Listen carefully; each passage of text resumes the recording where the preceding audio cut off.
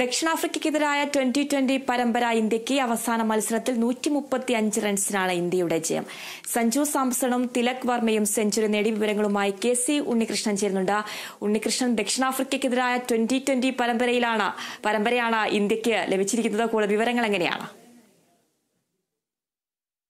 അതിര തീർച്ചയായും വളരെ ആവേശകരമായ മത്സരം തന്നെയാണ് ജോഗനാസ്ബർഗിൽ നടന്നത്. എന്തായാലും ദക്ഷിണാഫ്രിക്കയ്ക്കെതിരെ ഒരു വലിയ ജയം തന്നെ ഇന്ത്യയ്ക്ക് ഇന്ത്യയ്ക്ക് നേടിയെടുക്കാൻ കഴിഞ്ഞു എന്നത് തന്നെയാണ് ഏറെ സന്തോഷകരമായ കാര്യം. അതോടൊപ്പം തന്നെ സഞ്ജു സാംസൺ അടക്കമുള്ള താരങ്ങളുടെ ഒരു പ്രകടനം ഈ മത്സരത്തിൽ വളരെ നിർണായകമായി എന്നതാണ് എടുത്തു പറയേണ്ട കാര്യം. എന്തായാലും ഇന്ത്യയെ സംബന്ധിച്ച് നോക്കുമ്പോൾ വലിയ ഒരു രീതിയിലുള്ള ഒരു കൂറ്റൻ ജയമെന്ന് തന്നെ പറയണം. വലിയൊരു സ്കോർ ഇന്ത്യ ഉയർത്തുന്നു. ഇരുന്നൂറ്റി എൺപത്തി മൂന്ന് റൺസാണ് ഇന്ത്യ ആദ്യം ബാറ്റ് ചെയ്ത് ഇന്ത്യ ഈ- എടുത്തത് അത് ആ രീതിയിൽ ഒരു വിക്കറ്റ് മാത്രം നഷ്ടപ്പെട്ടുകൊണ്ട് തന്നെ ആ വലിയൊരു റണ്ണിലേക്ക് എത്താനായി ഇന്ത്യയ്ക്ക് കഴിഞ്ഞു. സഞ്ജു സാംസന്റെ ബാറ്റിംഗ് പ്രകടനവും അതോടൊപ്പം തന്നെ അഭിഷേക് ശർമ്മയുടെ ഒരു തുടക്കവും എല്ലാം തന്നെ ഇന്ത്യയ്ക്ക് മികച്ച സ്കോറിലേക്ക് എത്തുന്നതിൽ വളരെ നിർണായകമായി. കൂടാതെ തിലക് വർമ്മ അദ്ദേഹത്തിന്റെ പ്രകടനവും സെഞ്ചുറി പ്രകടനവും ടീമിന്റെ വിജയത്തിൽ നിർണായകമായി. രണ്ട് താരങ്ങളാണ് ഈ മത്സരത്തിൽ സെഞ്ചുറി നേടിയതെന്നതാണ് ഏറ്റവും പ്രധാനമായും പറയേണ്ടത്. എന്തായാലും കൂടുതൽ സിക്സുകൾ പറഞ്ഞൊരു മത്സരം അതോടൊപ്പം തന്നെ വലിയ ബൗണ്ടറികൾ തുടർച്ചയായി ബൗണ്ടറികൾ പായിച്ചൊരു മത്സരമെന്ന് തന്നെ നമുക്ക് ഈ മത്സരത്തെ വിശേഷിപ്പിക്കാം. എന്തായാലും സഞ്ജു സാംസണെ സംബന്ധിച്ച് കഴിഞ്ഞ മത്സരങ്ങളെല്ലാം തന്നെ സീറോ എടുത്ത് റൺസ് ഒന്നും എടുക്കാതെ ഔട്ടായി പോകുന്ന സാഹചര്യം ഉണ്ടായിരുന്നു. വലിയ വിമർശനങ്ങളെല്ലാം തന്നെ ഉണ്ടാകുന്ന ആരാധകർക്കെല്ലാം തന്നെ വലിയ നിരാശ ഉണ്ടാകുന്ന ഒരു സാഹചര്യം ഉണ്ടായിരുന്നു. അതിന് പിന്നാലെ ഒരു വീണ്ടും ഒരു സെഞ്ചുറി പ്രകടനം സഞ്ജു സാംസന്റെ ഭാഗത്തു നിന്ന് വരുന്നു.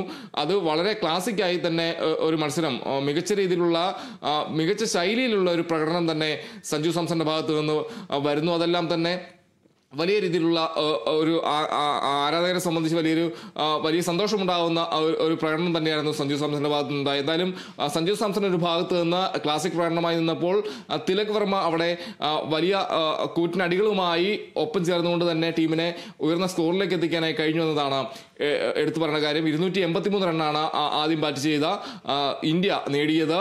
കൂടാതെ ആ ഇരുന്നൂറ്റി എൺപത്തി മൂന്ന് റൺസ് നേടി പിന്നാലെ ദക്ഷിണാഫ്രിക്ക ബാറ്റ് ചെയ്യുന്നു. ഇരുന്നൂറ്റി എൺപത്തിനാല് റൺസ് വിജയലക്ഷ്യമായി ദക്ഷിണാഫ്രിക്ക ബാറ്റ് ചെയ്ത്. ദക്ഷിണാഫ്രിക്കയെ സംബന്ധിച്ച് ആദ്യത്തെ ഓവറിൽ തന്നെ മുൻനിര ബാറ്റ്മാരെ ബാറ്റ്മാൻമാരെല്ലാം തന്നെ ബാറ്റ്മാന്മാരുടെ വിക്കറ്റ് നഷ്ടപ്പെട്ടത് തന്നെ ടീമിന് വലിയൊരു തിരിച്ചടിയാവുന്ന സാഹചര്യം. എന്തായാലും അക്ഷർ പട്ടേൽ അടക്കമുള്ള താരങ്ങൾ ആ താരങ്ങളുടെ പ്രകടനം തന്നെയാണ് ക്ഷമിക്കണം അർഷദീപ് സിംഗ് അടക്കമുള്ള താരങ്ങളുടെ പ്രകടനമാണ് ദക്ഷിണാഫ്രിക്കയുടെ മുൻനിര താരങ്ങൾ താരങ്ങൾ വിക്കറ്റിലേക്ക് നയിച്ചതെന്നും എടുത്തു പറയേണ്ട കാര്യമാണ്. എന്തായാലും റയാൻ റിക്സൺ അതോടൊപ്പം തന്നെ ഏഡൻ മാർക്രം അടക്കമുള്ള താരങ്ങൾ നായകൻ ഏഡൻ മാർക്രം അടക്കമുള്ള താരങ്ങളെല്ലാം തന്നെ ആദ്യം തന്നെ പുറത്തായത് ടീമിന് വലിയ തിരിച്ചടിയായി. എന്തായാലും നൂറ്റി മുപ്പത്തഞ്ച് റൺസിന്റെ ഒരു ആവേശകരമായ ജയമാണ് ഇന്ത്യ നേടിയത്.